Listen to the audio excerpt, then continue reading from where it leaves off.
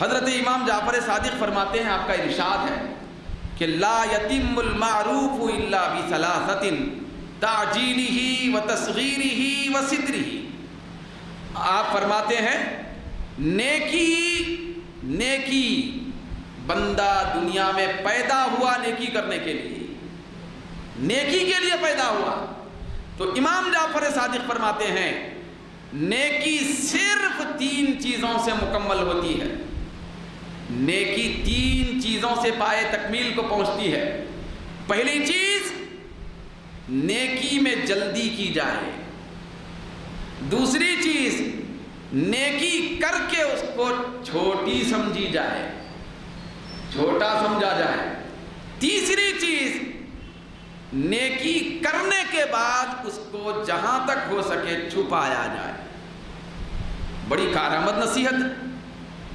نیکی کرنا آسان ہے۔ نیکی کرنا، آپ بولیں گے، کتنا مشکل ہے؟ ذرا دیکھیں، نیکی کرنا کتنا مشکل ہے؟ رات میں اٹھو، دن میں اٹھو، نمازوں کی پابندی کرو، تلاوت کرو، ذکر کرو، تسبیح تحلیل کرو، نمازوں کی پابندی کرو۔ کتنا مشکل ہو گیا ہمارے لیے۔ لیکن دوستو، نیکی اتنی مشقتوں کے بعد بھی نیکی کرنا آسان ہے۔ لیکن نیکی بچانا بہت مشکل ہے۔ نیکی کرنا آسان ہے، نیکی بچانا مشکل ہے۔ آپ کو معلوم ہے کہ نیکی کرنے والا کیسا نیکی کو بچا نہیں سکا۔ شیطان ہر قدم پہ نیکی کرتا تھا۔ یہاں تک کہ روایتوں میں آیا، اس کی نیکیوں کی کثرت کا یہ عالم تھا کہ روئے زمین پر ایک بالش جگہ بھی ایسی باقی نہیں ہے۔ جہاں پہ شیطان اور ابلیس نے سجدہ نہ کیا۔ نیکی کی کثرت کا یہ عالم تھا۔ اتنی زیادہ نیکیاں کرنے والا۔ مگر یاد رکھے کتنی بری مثال بن گیا۔ نیکی کرنے والا تو تھا، لیکن نیکی بچانے والا نہیں بن سکا۔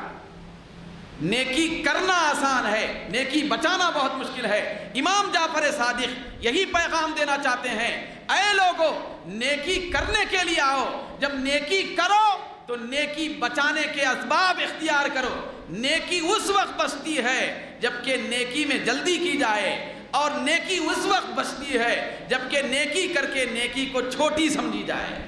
نیکی اس وقت بچتی ہے جبکہ نیکی کو چھپایا نہیں بلکہ چھپایا جائے۔ تو آپ کی کتنی بڑی مفید نصیحت ہے۔ اس کے اندر پوری زندگی کا سبق سبق ہے۔ پوری زندگی کا سبق ہے۔ ہم جو نیکی کرنا چاہتے ہیں، نیکی کریں۔ بھی بحمدہ تعالیٰ اللہ کے کرم سے رمضان شریف بھی تشریف لا رہے ہیں۔ نیکیوں کا مہینہ ہے۔ نیکیوں پہ نیکیاں کرتے جائیں۔ لیکن امام جعفر صادق کی یہ نصیحت یاد رکھیں کہ نیکی جب بھی کریں، نیکی کا وقت آئے تو نیکی میں جلدی کریں۔ پھر نیکی کر کے اس کو چھوٹا سمجھیں۔ نیکی کو معمولی سمجھیں۔ نیکی معمولی سمجھ کر معمولی نیکی کو بھی چھپانے کی کوشش کریں۔ چھپانے کی کوشش کریں۔ ہم جہاں کہیں تھوڑا بہت کرتے ہیں تو اس کو کم سے کم دس بیس لوگوں میں ضرور بولتے ہیں۔